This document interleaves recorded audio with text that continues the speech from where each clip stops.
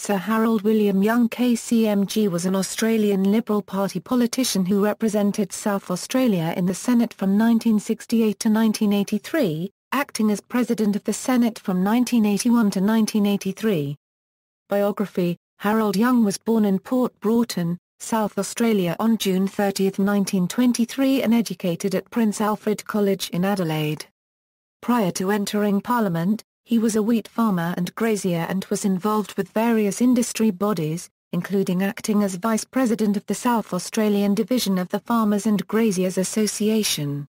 Young was elected to represent South Australia in the 1967 Senate election, his term as senator commencing on July 1, 1968, and re-elected in 1974, 1975 and 1977. From August 18, 1981 Young served as President of the Senate. He lost his own seat in the 1983 double dissolution election, the first sitting Australian Senate President to suffer this fate. He was appointed a Knight Commander of the Order of St. Michael and St. George in the New Year's Day Honours of 1983, for services to the Parliament of Australia.